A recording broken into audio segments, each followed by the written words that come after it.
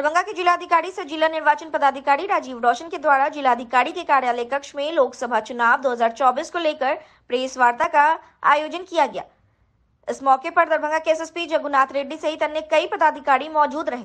Press वार्ता में बोलते हुए जिलाधिकारी ने कहा कि दरभंगा संसदीय क्षेत्र में चौथे चरण में तेरह मई को वोटिंग होगी और इस चुनाव कार्यक्रम के संबंध में कई बातों की जानकारी देते हुए जिलाधिकारी ने कहा कि अधिसूचना जारी होने की तिथि 18 अप्रैल नाम निर्देशन करने की अंतिम तिथि 25 अप्रैल, नाम निर्देशन पत्रों की संवीक्षा करने की तिथि 26 अप्रैल, मतदान की तिथि 13 मई और मतगणना की तिथि 4 जून निर्धारित की गई है।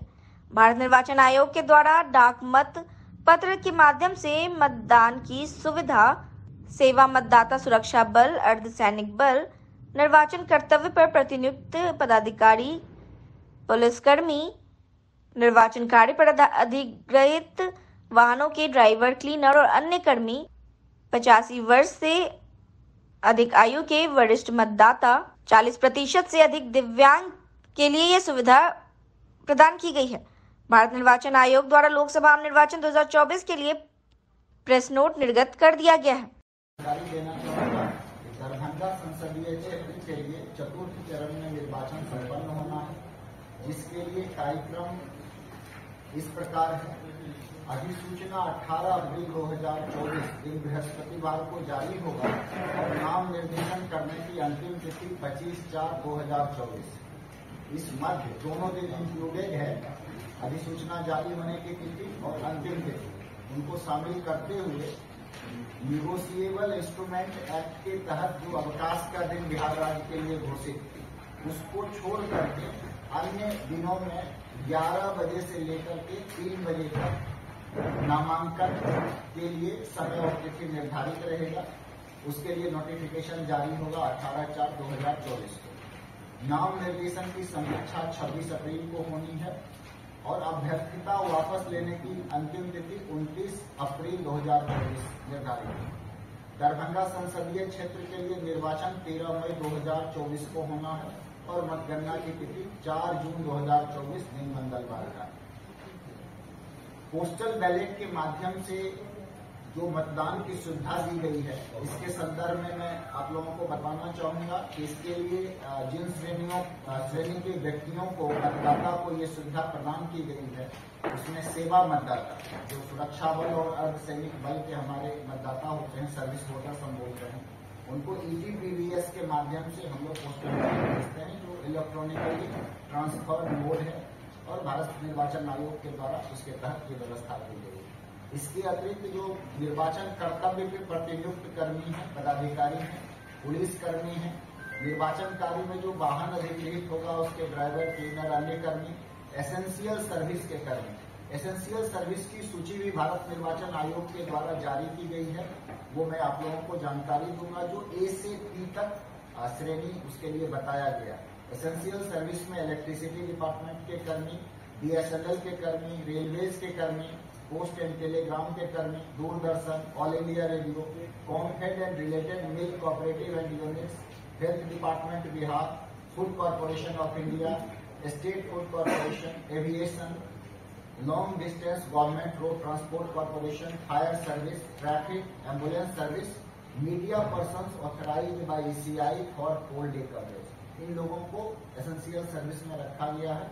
इन लोगों को भी पोस्टल बैलेट के माध्यम से मतदान देने के मत देने के लिए व्यवस्था की गई। इसके अतिरिक्त जो पचासी वर्ष से अधिक आयु के वरिष्ठ मतदाता हैं और जो हमारे पीडब्ल्यूडी मतदाता है, पर्सन विथ डिसेबिलिटी जिनका 40 प्रतिशत से अधिक दिव्यांगता उनके लिए भी हम लोग प्रपत्र 12 डी में मंगाते हैं। जो लोग इच्छा ज़ाहिर करते हैं कि मैं पोस्टल बैलेट के माध्यम से मतदान करना चाहता हूँ तो खास तौर से जो हमारे पचासी वर्ष से अधिक के मतदाता और पीडब्ल्यूडी के मतदाता है उसके लिए हम लोग रूट जारी करते हैं सभी कैंडिडेट को भी उसके लिए सूचना दी जाती है और फिर हम लोग उनको घर पे जाकर के टीम रहता है जो हमारे सेक्टर ऑफिसर जोनल मजिस्ट्रेट और बाकी टीम जाकर के मतदान के लिए लेकर आता है।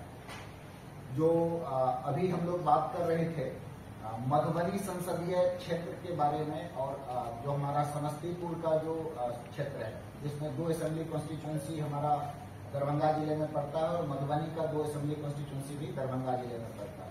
तो मधुबनी के लिए हमारा निर्वाचन 20 मई को संपन्न होना है और जो हमारा समस्तीपुर का दरभंगा ज़िले में दो असेंबली कॉन्स्टिट्यूंसी है, उसका भी चतुर्थ चरण में है। तो उसका जो, उसके हमारे जो रिटर्निंग ऑफिसर हैं, वो समस्तीपुर ज़िले में रहेंगे। और वहाँ पर उसकी पूरी प्रक्रिया की जाएगी और उससे संबंधित पोस्टल बैलेट भी वहाँ के आयोग के द्वारा जारी किया जाएगा समस्तीपुर के लिए और जो मधुबनी का हिस्सा है, मधुबनी से जारी किया जाएगा। इस बार इसमें एक अलग व्यवस्था की गई है कि जो उस चरण में हमारे बिहार राज्य के अंतर्गत ज़िले हैं तो वहाँ से भी हम लोग एक्सचेंज करेंगे। पहले प्रपत्र 12 का एक्सचेंज होगा फिर अगली मीटिंग में हम लोग फिर पोस्टल बैलेट का एक्सचेंज करेंगे और फाइनली पोस्टल बैलेट में जब मत हो जाएगा तो हम लोग आपस में उसका एक्सचेंज करते हुए और ये कैलेंडर जारी किया गया है आयोग के माध्यम से। इस प्रकार से पोस्टल बैलेट के माध्यम से मत देने का और उसकी सुविधा को काफ़ी सरल बना दिया गया है। जो अगर जो मैं आप लोगों को बताना चाहूँगा, वो दरभंगा संसदीय क्षेत्र के संबंध में है। इसमें प्रेक्षकों की विवरणी अभी प्राप्त हुई है। वो जब यहाँ ज्वाइन करेंगे तो हम अलग से प्रेस नोट भी जारी करेंगे, उनका नंबर भी हम सब लोगों को प्रकाशित करेंगे।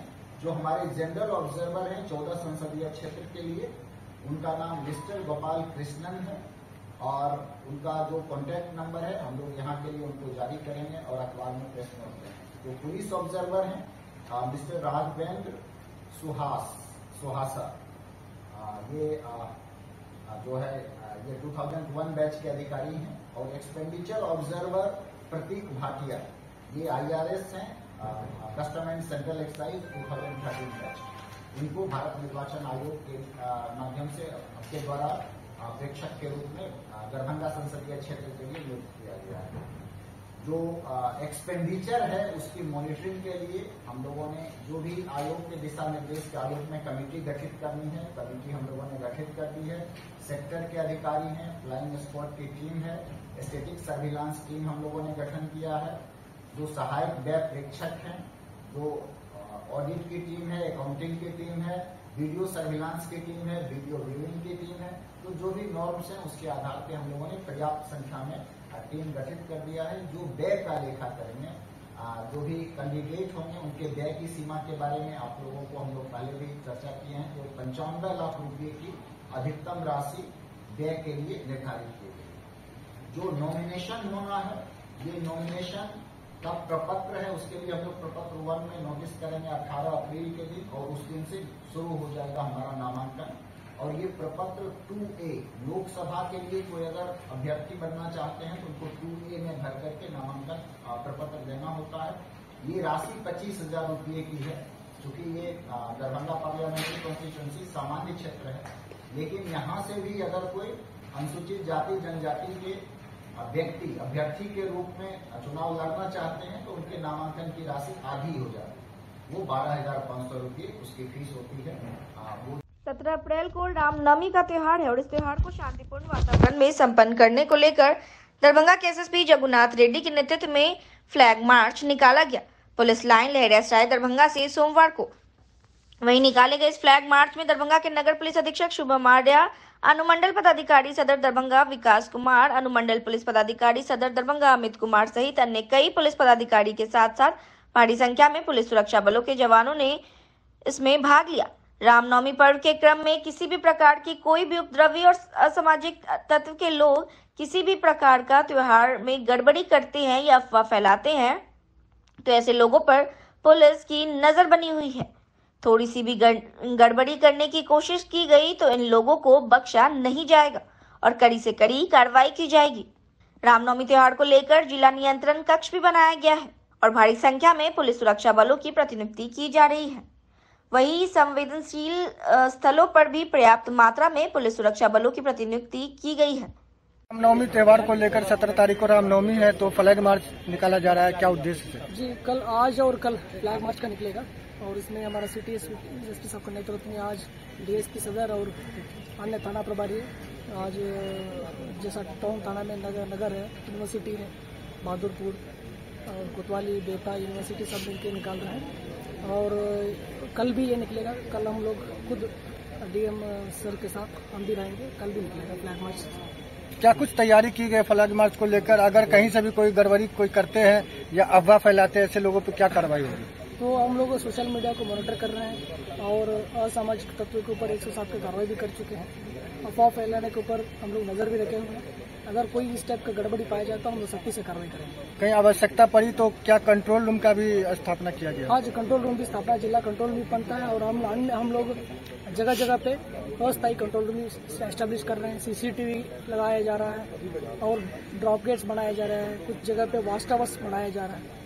कुछ ऐसे संवेदनशील स्थल हैं जहाँ पे पुलिस सुरक्षा वालों की क्या कुछ व्यवस्था की जाएगी किस तरह से पुलिस पदाधिकारी भी रहेंगे मजिस्ट्रेट भी रहेंगे क्यूआरटी भी रहेगा गंगा पार्टी भी रहेगा पुलिस की तरफ़ से। बाहर से भी पुलिस फोर्स को मंगाया गया क्या? हाँ दो कंपनी हम लोगों को बाहर से मिला हुआ और एक्स्ट्रा फोर्स भी हमारे पास है। आधुनिक सुविधाओं से लैस और जीपीएस की सुविधा के साथ 112 नंबर की मोटरसाइकिल, बाइक को दरभंगा के वरीय पुलिस अधीक्षक जगन्नाथ रेड्डी ने हरी झंडी दिखाकर पुलिस लाइन लहरियासराय से रवाना किया। दरभंगा वासियों के लिए हर कठिन परिस्थितियों में यह उपलब्ध रहेगा। 112 नंबर पर आप डायल करेंगे तो आपकी सेवा में या कुछ मिनटों में हाजिर हो जाएगा। हम आपको जानकारी दे दें कि दरभंगा ज़िले में कुछ ही वर्ष पहले 112 नंबर की चार चकिया गाड़ी को दरभंगा के आम लोगों के लिए और कठिन समय में उनकी तत्काल सहायता करने के लिए पहले पहले ही यह सुविधा जिला वासियों को दे दी गई है। और जैसे ही आप लोग 112 नंबर पर फ़ोन करेंगे तो यह आपके कॉल को कन्वर्ट करके वहाँ से तुरंत ही कुछ मिनटों में आपके पास गाड़ी पहुँच जाती है। वहीं 112 नंबर के चार चक्के वाहन के बाद अब 112 नंबर की मोटरसाइकिल भी दरभंगा में लॉन्च कर दी गई है। अभी फ़िलहाल 20 मोटरसाइकिल ऐसे उपलब्ध दरभंगा में हो गए हैं। तमाम सुविधा जीपीएस सिस्टम से लैस यह मोटरसाइकिल अब कुछ ही मिनटों में आपकी शिकायत पर आपकी समस्या का हल करने के लिए आपके पास पहुँच जाएगी। इस संबंध में हमने दरभंगा के वरीय पुलिस अधीक्षक जगन्नाथ रेड्डी से बात की। तो उन्होंने दरभंगा जिला के लिए 20 मोटरसाइकिल के बारे में बताया जिसमें जीपीएस सिस्टम लगा हुआ है जो किसी भी परिस्थिति में आपके पास आपकी सहायता के लिए पहुँच जाएगी। तो वो 112 का जो हमको 20 का मोटर बाइक मिला हुआ है उसी का हम लोग स्टार्ट किए हैं फ्लैग दिखा के उनको रवाना किए हैं और उसके 112 नंबर का जो मोटरसाइकिल निकला है किस तरह से इसका लोग लाभ उठा सकेंगे, किस तरह से संपर्क साध सकेंगे? ऑलरेडी हर थाना में एक एक फोर व्हीलर हम लोग दिए हुए हैं चार पहिया वाला हर थाना में दिया गया है। उसके अलावा हमारा दरभंगा जिला के लिए 20 मोटर बाइक मिला हुआ है। इसमें भी डिवाइस है, जो जीपीएस से कनेक्टेड है। जैसे ही किसी को कॉल जाता है तो तुरंत वो पटना कंट्रोल रूम से हम लोगों को मिल जाएगा। फिर यहाँ से जो भी फ़ोन करते हैं, उनका जल्दी वहाँ पहुँच उसका समस्या का समाधान निकाल मिल जाएगा तो ये रेगुलर वर्क आवर में रहेगा या रामनवमी तक ही ये रहेगा? ये नहीं रेगुलर है रेगुलर रहेगा। सोमवार को एनडीए के लोकसभा कार्यालय पर बिहार प्रदेश भाजपा द्वारा मनोनीत लोकसभा मीडिया प्रभारी राजीव रंजन एवं दरभंगा सांसद सह भाजपा प्रत्याशी डॉक्टर गोपाल जी ठाकुर ने संयुक्त रूप से प्रेस वार्ता किया। इस दौरान राजीव रंजन ने कहा कि देश में लोकसभा चुनाव प्रगति पर है ऐसे में मीडिया का दायित्व काफ़ी बढ़ गया है। मीडिया को भारतीय लोकतंत्र का चौथा स्तंभ माना जाता है और मीडिया का दायित्व है कि देश में पुनः एक बार विकासवाद और ईमानदार सोच वाली मज़बूत सरकार बनने में अपना योगदान दे, ताकि राष्ट्र के विकास के साथ साथ गरीब युवा, महिला, किसान, शोषित, वंचित के उत्थान की यह प्रयास सतत जारी रहे। उन्होंने कहा कि प्रधानमंत्री नरेंद्र मोदी के नेतृत्व में देश बीते दस वर्ष में आर्थिक, धार्मिक, सामाजिक बुनियादी एवं सामरिक सहित अन्य सभी क्षेत्र में काफ़ी मज़बूत हुआ है। वैश्विक स्तर पर एक महाशक्ति के रूप में उभरा है। आज पीएम मोदी विश्व के सबसे शक्तिशाली नेता बन चुके हैं। और यह हमारे लिए बहुत ही गर्व की बात है। आज के इस प्रेस वार्ता में आप सबों को बहुत बहुत हार्दिक अभिनंदन बंधन करता हूँ। बीच में अपने संसदीय क्षेत्र का विषय रखने का काम किए हैं। और एक भी विषय आप लोगों से कोई बाहर नहीं है, जो देश के यशस्वी प्रधानमंत्री श्री नरेंद्र भाई मोदी इस मिथिला के हृदय स्थली दरभंगा और संपूर्ण मिथिला में जो काम किया है, वो भूतो न भविष्यति आज तक इस देश के कोई सरकार, कोई प्रधानमंत्री इस क्षेत्र का सुध नहीं लिया। और भगवान भरोसे यहाँ के नागरिकों को छोड़ा गया। लेकिन सदैव अटल बिहारी वाजपेयी जी की सरकार और परम आदरणीय श्री नरेंद्र भाई मोदी की सरकार ने मिथिला में मिथिला वासियों के लिए आज निर्मली भवत्याही निर्माण कर और मिथिला के लोगों का, जो दरभंगा के लोगों का बेटी रोटी का संबंध था, उस वर्षों से टूट गया था। अटल जी ने स्वयं आकर के निर्मली भवत्याही महासेतु बनाए। और वहीं कोसी रेल महासेतु 88 साल बाद नरेंद्र भाई मोदी 516 करोड़ की लागत से आज रेल के माध्यम से जहाँ आप बैठे हुए हैं लहरिया सराय बहादुरपुर में, यही लहरिया सराय सहरसा रेल लाइन हमने तीन जोड़ी चला करके इस मिथिला के लोगों को सुविधा प्रदान की है। आज इस दरभंगा में आप लोग एम्स की चर्चा किए हैं। माननीय राजीव जी, जो हमारे प्रदेश के प्रवक्ता, अभी प्रेस वार्ता किए, उसमें आप लोगों ने एम्स की बात प्राथमिकता से आप रखे हैं। आपसे कोई बात औपैंचिक नहीं है। पंद्रह के बजट में देश के यशस्वी प्रधानमंत्री दूसरा एम्स देने की बात बिहार में किए थे।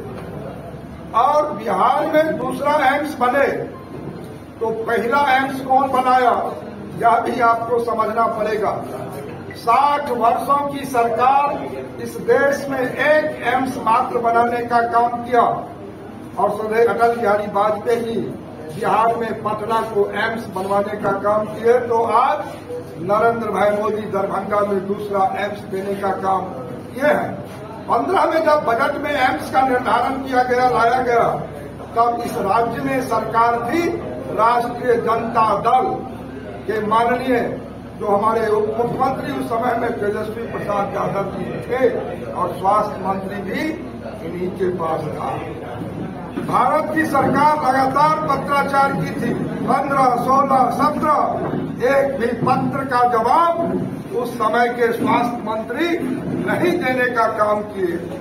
और जब 18 में हम लोग सरकार में थे, तब आदरणीय प्रधानमंत्री नरेंद्र भाई मोदी ने कहा, देश के यशस्वी स्वास्थ्य मंत्री आदरणीय जेपी नड्डा जी को जो दरभंगा में हम एम्स बनाना चाहते हैं बिहार सरकार से प्रस्ताव मंगाए और बिहार सरकार ने प्रस्ताव दिया दरभंगा का।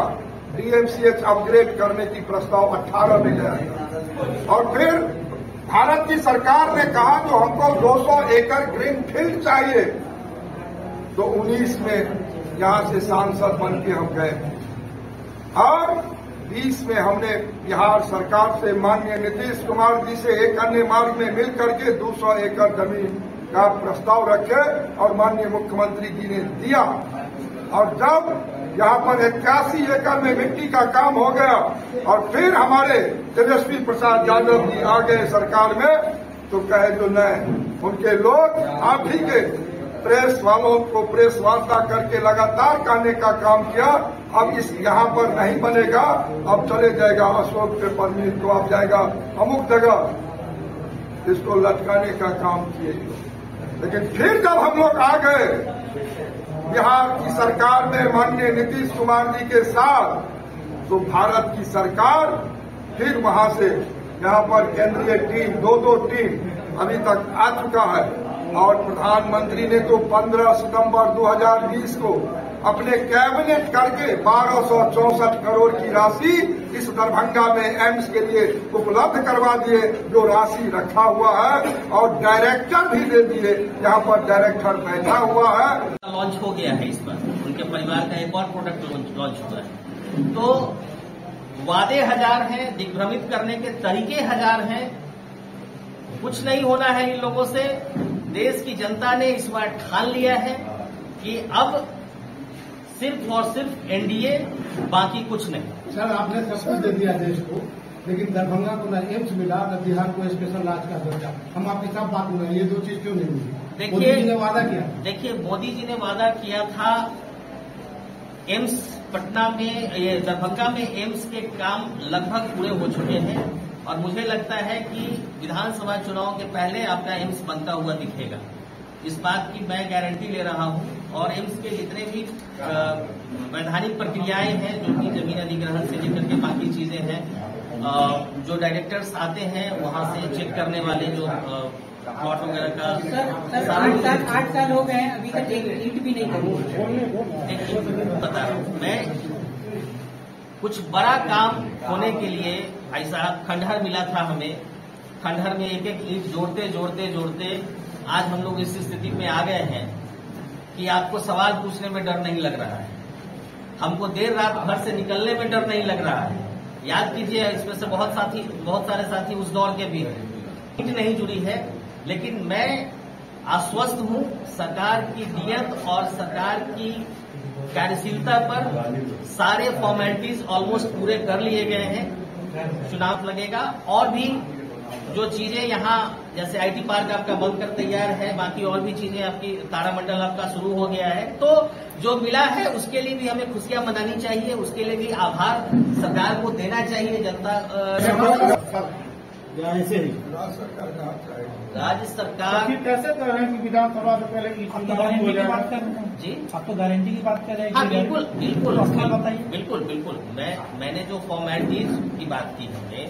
कि मैंने जो, मैंने बात की जो फॉर्मेलिटीज है, जो एम्स बनने के लिए जो फॉर्मेलिटीज होती है, कानूनी वैधानिक प्रक्रियाएँ जो होती है, वो पूरी कर ली गई है।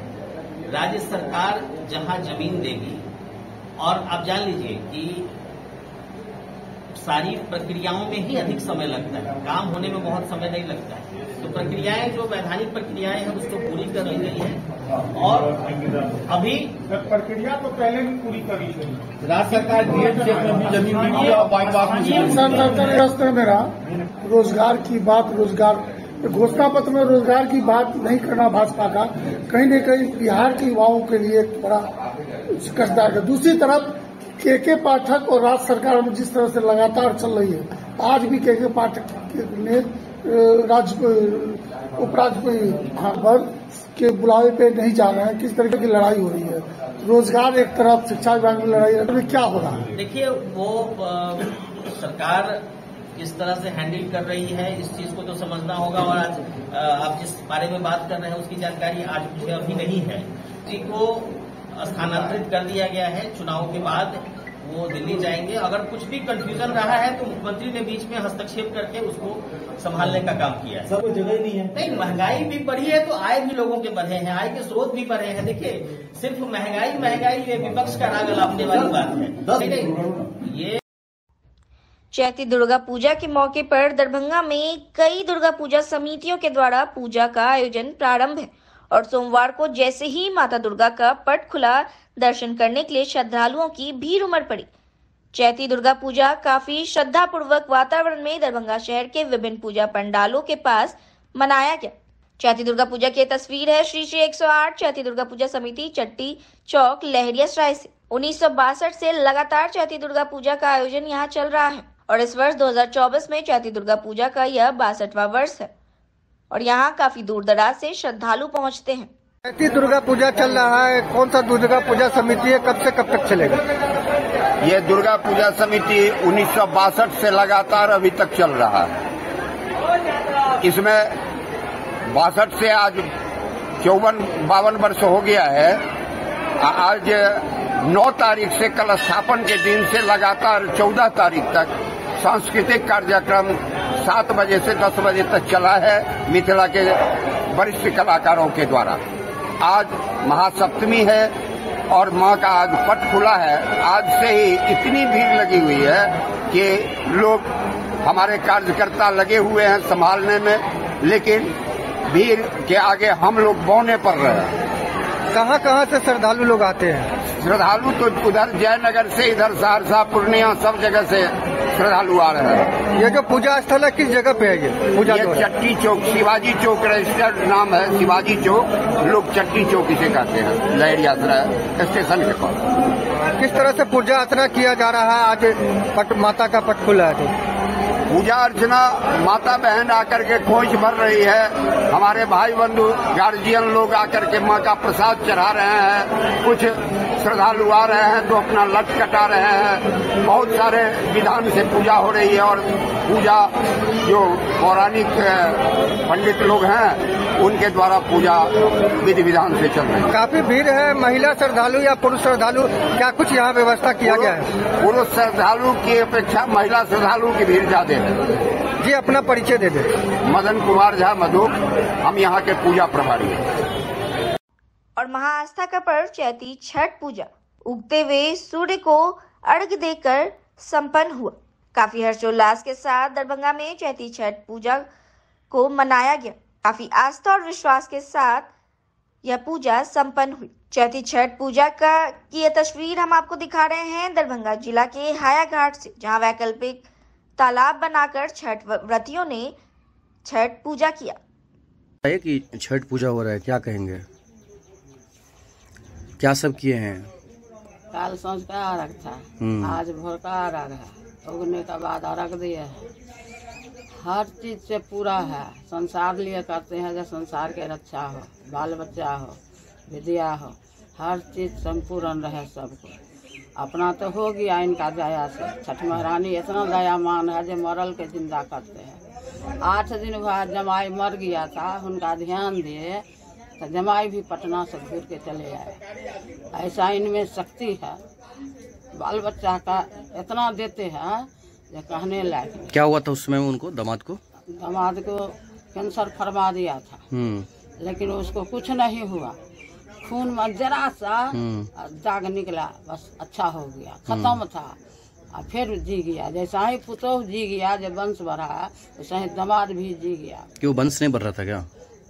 कुमारे शादी हुआ हम्म। बस खत्म हो गया था पुतोह। हम्म जो सब जात का धानुक था वही कबला कर दिए। अच्छा। उस दिन से हमारा वंश भी बढ़ा। हम्म। बाल बच्चा भी हुआ घर द्वार हर चीज़ उन्हें छठ महारानी के दया से हुआ। हम्म। अब जिसको कहते हैं उसको भी होता है। आत्मा से पुकारता है तो उसको भी होता है। हर चीज़ का पूरा होता है। संसार लिए करते हैं हे माता संसार को बाल बच्चा मेरा बाल बच्चा है मेरा बाल बच्चा आपको सुख के रखे। जैसे रखो। क्या सब तैयारी किए थे इसके लिए छठ के लिए सब रंग का फल फूल हम्म और खरना दिना खीर सोहारी से हाथ उठाए फल फूल से हाथ उठाए छोटा पर्व है अभी दूध लावा चढ़ाए हैं देवता अंगने में खड़े मतलब ये किए थे? अंगने में पोखरा कोर के हम्म। अंगने से हमरा हर चीज़ हुआ है अंगने में हम करते हैं जा जियेंगे तो हम अंगने में करेंगे हम्म। हम अच्छा लग रहा है। हैं। हाँ हमरा हर चीज़ चार दिन का व्रत था हाँ, बहुत अच्छा। महसूस भी हुआ है व्रत। कुछ नहीं सत्तर बरस का उम्र हो गया कुछ हम्म। नहीं।